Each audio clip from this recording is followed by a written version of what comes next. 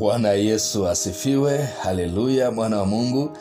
Uh, tunaendelea na mfululizo wetu wa somo la vita vyetu vya rohoni, na leo ni sehemu ya nne ambapo tutaangalia kuvunja maagano ya damu kwa kutumia damu ya Yesu, maagano yaliyofanywa katika ulimwengu wa roho ambayo yalikusudia kuleta umiliki au kumiliki maisha ya watu, kumiliki baraka zako, kumiliki utumishi wako, kumiliki afya yako, ambayo yalifanywa kipepo. Sasa maagano hayo shetani anatumia kama gereza, kama kifungo, kama silaha ya kukushikilia au ya kushikilia ndugu zako au ya kushikilia kitu chochote eh, cha kwako, iwe ni afya, uchumi au whatever. Sasa maagano haya kwa sababu yalitumika, yalitumia damu, na ieleweke kwamba damu ndio kitu kikubwa, ndio agano bora katika maagano yote, iwe katika ulimwengu wa nuru au iwe katika ulimwengu wa giza. Sasa shetani hutumia maagano ya damu, lakini na Yesu pia alitumia agano la damu. Sasa tunachofanya katika vita vyetu vya rohoni ni kupambanisha hizi damu, damu ya Yesu na damu ya maagano ambayo ameyafanya shetani na watumishi wake au na maajenti wake. Nataka ni, ni, ni kuonyeshe kwa nini damu inatumika. Ukisoma Mambo ya Walawi sura ile ya kumi na saba mstari wa kumi na moja neno la Mungu linasema hivi: kwa kuwa uhai wa mwili huu katika hiyo damu, nami nimewapa ninyi hiyo damu juu ya madhabau ili kufanya upatanisho kwa ajili ya nafsi zenu, kwani ni hiyo damu ifanyayo upatanisho kwa sababu ya nafsi. Jambo ambalo ninataka ulione hapa ni kwamba damu inawakilisha uhai. Kwa hiyo damu inapotolewa juu ya madhabahu inafanya upatanisho kwa ajili ya nafsi na madhabahu husika. Kwa hiyo kama ulimwengu wa giza, kama ni wachawi, kama ni majini, mapepo, eh, kama ni mashetani, yanapochukua damu yanamaanisha yanaunganisha yana, yana ulimwengu wa giza pamoja na nafsi ya aliyetoa ile damu au nafsi ya aliyetolewa ile damu kwa niaba yake. Kwa mfano, Yesu alivyotoa damu yake, manake alitoa kwa niaba yetu, ili sisi tuunganishwe nafsi zetu na Mungu. Ndio maneno neno la Mungu linasema Mungu alikuwepo ndani ya Kristo Yesu pale msalabani, akiupatanisha ulimwengu na nafsi yake. Haleluya! Sasa kwa upande wa ulimwengu wa giza, the same applies. Huu ni wakati ambapo damu inafanya upatanisho wa nafsi Let's say kwa mfano wachawi au waganga wa kienyeji wanapopatanisha nafsi za, nafsi za wateja na ulimwengu wa giza, wanapatanisha kwa kutumia sadaka zinazotolewa kwa njia ya damu. Inaweza ikawa mganga akakwambia toa kuku, peleka mbuzi, peleka ng'ombe, peleka mtoto, mke, mume au ndugu au wawe. Kinachofanyika pale, inatafutwa ile damu. Kiwango cha ubora wa damu kinategemea kiwango cha upatanisho unaokusudiwa. Kama tatizo ni kubwa au maagano yanayotaka kufanyika ni makubwa zaidi, ndio hapo mtu anaambiwa toa ng'ombe. Kama ni zaidi hapo, ndio ataambiwa toa mtoto wako, toa mke wako, toa mume wako, toa ndugu yako fulani, toa mzazi, whatever ni kulingana na ukubwa wa agano. Ndio maana hata sisi tutaona kwamba Yesu anapokuja kupindua haya maagano, lazima itafutwe damu kubwa, damu yenye nguvu, damu yenye ubora kuliko damu zote. Sasa ninatamani uelewe kwamba ndio maana hata wachawi unapopeleka hiyo, unatoa damu hizo makaburini au kwao, hata kama kama ni mchawi wa kweli, kama ni mganga wa kienyeji wa kweli anaofahamu ulimwengu wake, hata ukimpa pesa bado atahitaji damu. Kwa nini? Kwa sababu ndio inayoleta upatanisho. Na watu wengi, niseme jambo hili kwamba wamepatanishwa au wameunganishwa nafsi zao au maisha yao na ulimwengu wa giza pasipo wao kujua na wengine kwa kujua. Kuna vitendo ninataka nikuonyeshe kama mfano tu, ambayo ni maagano e, katika ulimwengu wa giza. Kwa mfano, mtu ameenda kwa mganga wa kienyeji au amepewa maelekezo na mshirikina mwenzake au mchawi kwamba afanye kitendo cha kuchanja chale mwilini. Utaona hili ni jambo ambalo hata Mungu alilikataa kwa sababu ni ishara ya maagano ya giza. Au watu wanabadilishana damu, aidha kwa kujikata na wembe au na kisu. Ukiangalia hata tamaduni za southern asia wa china wa thailand wa wapi utaona kuna uh, hata wa korea kuna namna huwa wanaweza akakata damu kama wanapatana juu ya jambo fulani. Watajichanja kama kwenye mikono watashikana. Ile damu au ita, mtu akishajichanja ile damu anaingiza kwenye kikopo fulani au kwenye chombo fulani na mwingine anaingiza anaingiza anaingiza. Ule ukoo au wale viongozi wakishajichanja ile damu na kuingia kwenye ile kopo maanake ile damu inakuwa imewapatanisha nafsi zao. Hayo ni maagano kwa njia ya damu Eh, au mtu ana mpenzi wake wamependana sana wanajichanja sehemu wanaunganisha zile damu au wanalamba zile damu kwa pamoja kuashiria kwamba ni agano ni mapatano ya nafsi zao. Wakati mwingine pia wale ambao wanawake wanajifungua unashangaa kitovu kinachukuliwa kinapelekwa sehemu fulani kwa sababu gani? Kwa sababu kina damu. Au hedhi kuna wengine wamechukuliwa hedhi damu za hedhi zao wakapelekwa kwa waganga au wakafanyiwa vitu fulani vya kichawi. Kwa nini? Kwa sababu wanachukua ile damu ambayo inawakilisha uhai wanapatanisha na nafsi katika ulimwengu wa giza. Unanielewa ninachoongea? Mungu atusaidie. Ndio maana kuna wazazi au wengine wanapenda kuita wafyele wanapokuwa wamejifungua watu wengine wanaoelewa mambo haya huwa waruhusu kila mtu tu amhudumie mama alitoka kujifungua. Na wakati mwingine wale wanaohudumia ikiwa ni mkunga wa jadi au mchawi hata kama ni ndugu shangazi mama dada kama ana hivyo vitu anaweza akachukua eh, damu katika namna yoyote. Wakati wanamhudumia mgonjwa akaunganisha eidha mtoto au mama yake na ulimwengu wa giza. Haya ni maagano ambayo yanafanyika katika ulimwengu wa roho. Mtu hata pasipo yeye kufahamu wengine wanafanyika maagano kwa kutolewa damu wakati wa, wa kutolewa bikra. Haya ni maagano.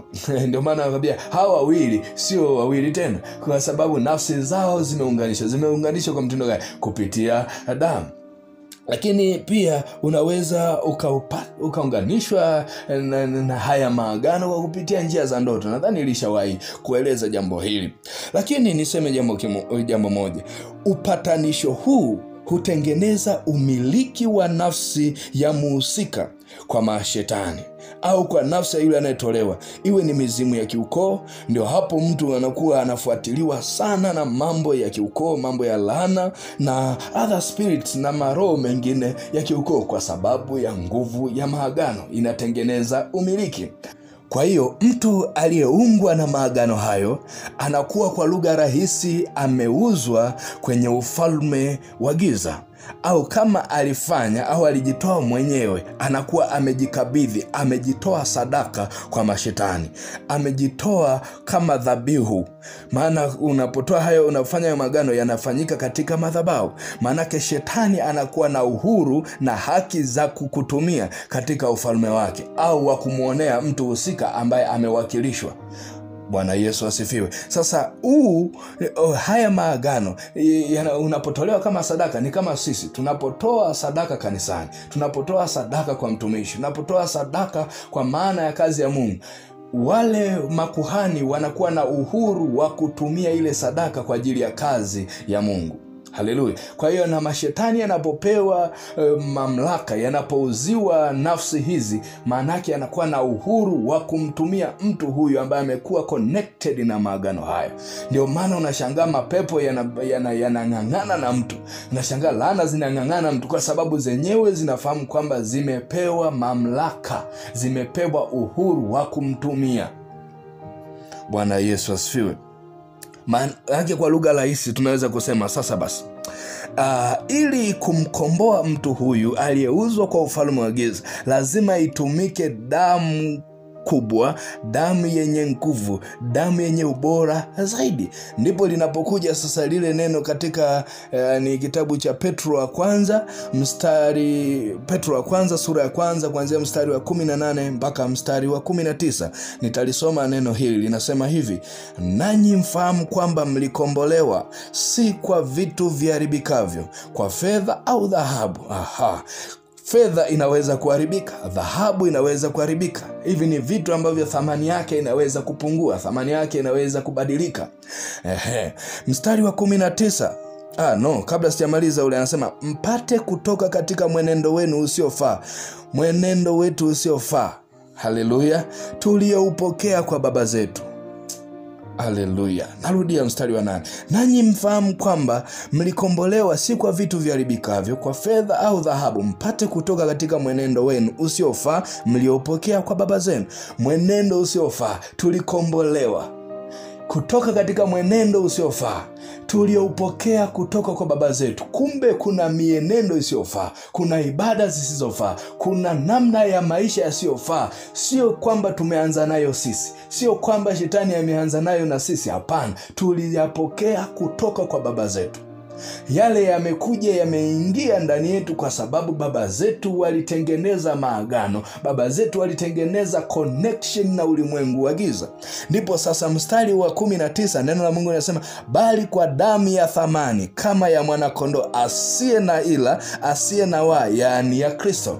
Kumbe ukombozi wetu unakuja kufanyika sio kwa damu tena ya wanyama, sio kwa damu ya watu waliotolewa kafara, sio kwa damu yeyote ile, bali kwa damu ya thamani. Thamani hii inazidi thamani ya fedha, thamani hii inazidi thamani ya, ya nini, ya dhahabu au thamani ya chochote ambacho kilitolewa katika madhabahu yoyote. Hii ni damu bora, damu yenye nguvu kuliko damu nyingine zozote. Sasa hii ndio inakuja kuwa na uwezo wa kutukomboa kutoka katika vifungo, kutoka katika hayo maagano. Bwana Yesu asifiwe sana. Damu ya thamani. Mganga ambaye alitoa damu ya wanyama au alitoa damu ya mtoto wako au alitoa damu ya, ya binadamu yoyote, anapokutanishwa na damu ya Yesu, nguvu zake zina freeze. Nguvu yoyote ya giza inapokutanishwa na damu ya Yesu, kwa sababu ni damu ambayo ukisema kwa habari ya dhambi haina. Ndio maana inafananishwa na damu ya mwanakondoo. Kwa nini? Kwa sababu wenzetu Wayahudi zamani walikuwa wakitoa damu ya wanakondoo, inakuwa haina hatia, hakuna mnyama mwenye hatia, kwa sababu hana hana nini, hana utashi. Sasa damu ya Yesu ni bora kuliko hata hizi damu za wanyama ambazo zilikuwa hazina hatia. Kwa it's the super natural blood the cleanest blood, yani ni, ni, ni damu ya thamani ya juu kuliko damu zetu. Sasa hapa ndio linapokuja lile neno katika Kolosai moja kumi na tatu kwamba Mungu alituokoa kutoka katika nguvu za giza akatuingiza katika ufalme wa mwana wa pendo lake. Kwa nini? Kwa sababu tumekombolewa kwa damu ya thamani. Sasa unapokomboa kitu, maanake unakiondoa kutoka katika mmiliki mmoja na kukileta kutoka kwa mmiliki mwingine. Tuliuzwa kupitia udanganyifu ambao shetani aliupitia kwa, babu, kwa mababu zetu adamu na Eva. Tulivyouzwa katika ufalme ule, Yesu anakuja kwa damu ya thamani, anatukomboa kule. Anapotukomboa sasa, anatuhamisha kutoka katika ufalme au miliki ya yule mwovu, miliki ya adui, tunaingia katika miliki ya mfalme wa mwana wa pendo lake, yaani Yesu Kristo, na ametukomboa kwa damu ya Yesu. Ndipo linapokuja tena neno katika Wakolosai tatu mstari wa tatu ya kwamba uhai wenu umefichwa pamoja na Kristo katika Mungu. Kwa hiyo sasa, kwa kuwa kule tumesema damu iliwakilisha uhai, ilipotolewa mbuzi kwa uhai ulipotolewa wa mbuzi, damu ya mbuzi ikamwagwa, likatajwa jina la Fredrick, likatajwa jina la Anita. Kinachotokea ni kwamba damu ya Yesu inapokuja inanunua ule uhai, inanyang'anya ule uhai, inaukomboa ule uhai, unakuwepo ndani ya Kristo kupitia damu ya Yesu. Ndipo linatimia lile neno kwamba sasa uhai wetu unafichwa ndani ya Kristo.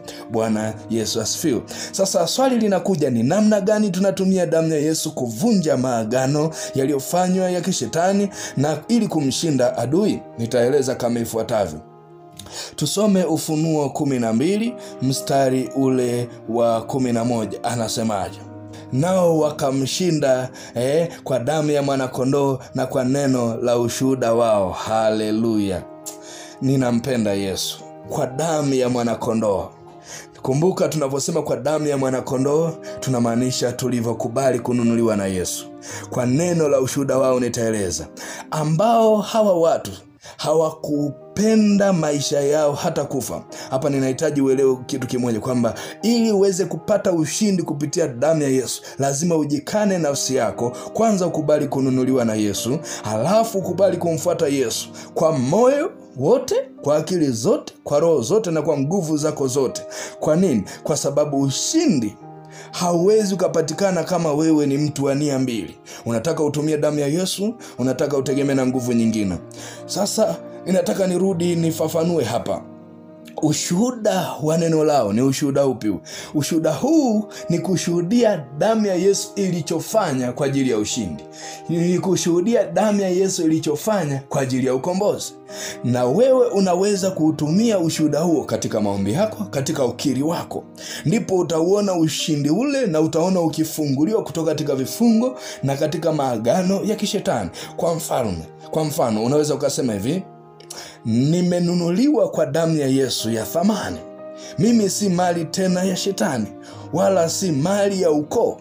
Kwa nini? Hapa sasa ninatangaza ninakiri ninatamka neno la ushuhuda juu ya kile kitu kilichofanywa na damu ya yesu juu yangu baadaye ndipo ninakuja ninasema asante yesu kwa kuwa umeniokoa kutoka kwenye nguvu kutoka kwenye mamlaka za giza na kunihamisha kutoka katika ufalme au kutoka katika mamlaka na kuniingiza kutoka katika mamlaka ya yesu. Unakuja tena nimenunuliwa kwa damu ya thamani nimeondolewa nimehamishwa kutoka mautini kuingia uzimani katika jina la yesu. Haleluya. Huu ni mfano wa neno la ukili ndio maana hata tunapokea tunaposema tunaokoka tunapopokea uokovu hatuishii kuamini tu. Kwa moyo mtu huamini na kwa kinywa mtu ukiri kwa moyo tumeamini kazi iliyofanywa na damu ya yesu kwa kinywa lazima tukiri kwa neno la ushuhuda wetu juu ya kazi iliyofanywa na damu ya yesu.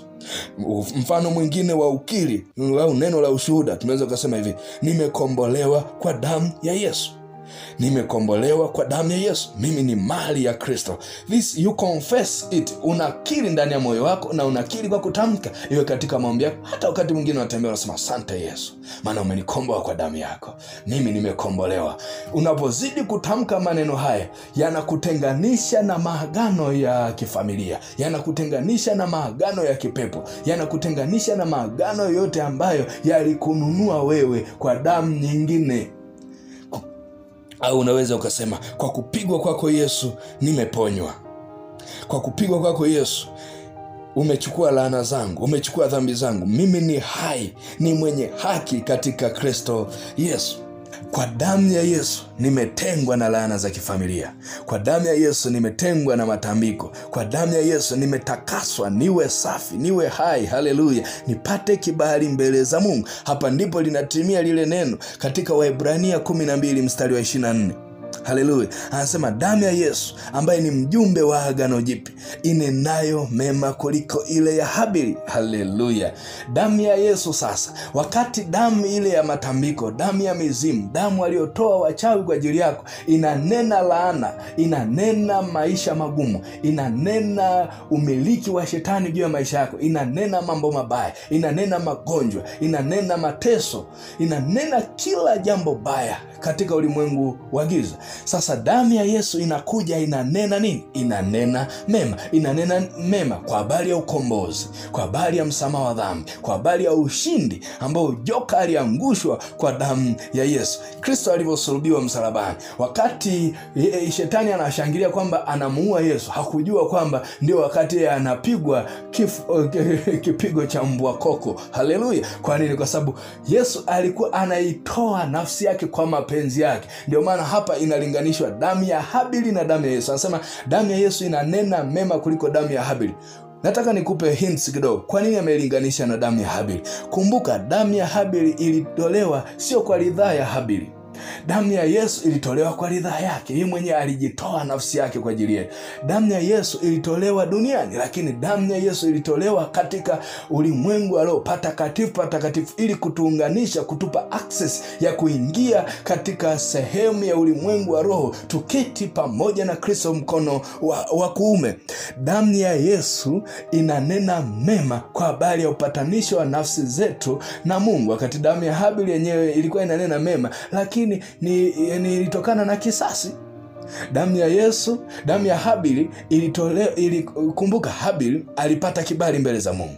Alipata kibali mbele za mungu kwa namna gani? Kwa matendo yake. Alitoa sadaka nzuri yenye kibali inayonona haleluya sadaka njema mbele za mungu. Lakini hebu fikiria yesu anakuja kutoa sadaka iliyo bora kuliko ya nani? Kuliko ya habili. Ndio maana tunasema tuna tunapata ukombozi tunapata uokovu pasipo matendo. Tunapata kwa imani. Tunahesabiwa haki bure ndani ya kristo.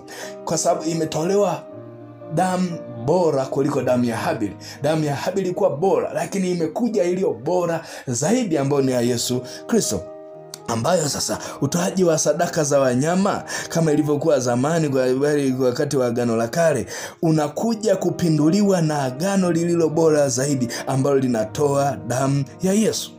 Haleluya! Damu ya yesu ilitolewa kwa sababu yesu alitupenda. Damu ya yesu ilitangaza ushindi kwa yoyote atakayekubali kazi ya msalaba kwa yoyote ambaye atakayekubali damu ya yesu mwandishi wa ibrania anaweka clear sana. Anawaonya wayahudi waliokuwa wanataka kurudi kwenye utoaji wa damu za wanyama waliotaka kurudi kwenye agano la kale. Anawaambia hapana msije mkarudi maana mmekionja kipawa chema maana agano tulilo nalo sasa katika kristo yesu ni agano lililo bora kuliko agano la baba zenu.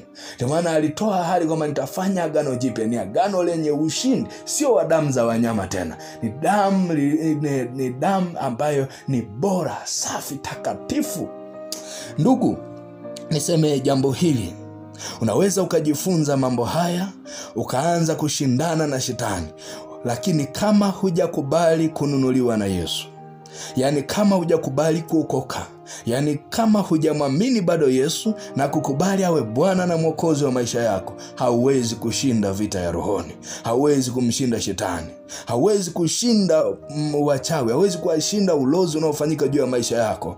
Nafasi bado unayo kama unataka kupokea ushindi kama unataka kukombolewa unataka kuepukana na, na, na mambo uliofanyiwa ya kiukoo ya kifamilia au pengine mume wako baada ya kuachana alikuloga amefanya mambo ya ajabu au mke wako au ndugu zako baada ya kugombana na na lile wameloga maisha yako wametoa masadaka makaburini wamekunenea maneno wakatoa na sadaka kwa waganga hauwezi ukachomoka hapo pasipo kutumia damu ya yesu.